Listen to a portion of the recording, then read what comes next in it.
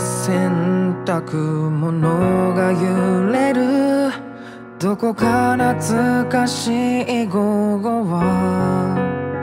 母の声が聞こえそうで胸がいつもより狭くなる。桜の花びら散るあの高架下父の背中を追いかけていた。今日はうまく笑えない悲しくないのに父と母の面影浮かぶ。僕の背中を押した桜晴れ涙が溢れそうになるのはなぜ？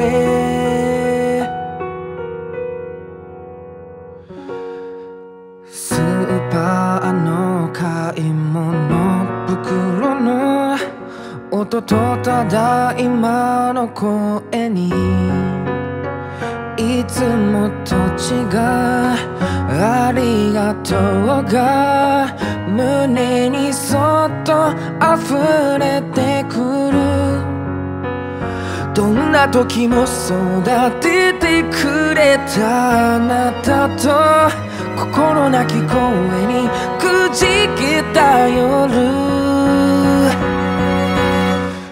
今日はまく笑えない悲しくないのに突き刺すような言葉さえも僕の背中を押した桜晴れ足を踏み出せるんだそう思うよ同じ歌を口ずさめばきっと何かわかる。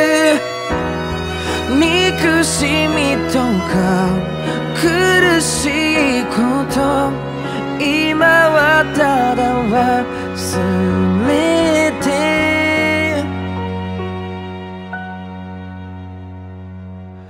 今日はうまく笑いまでいいよ。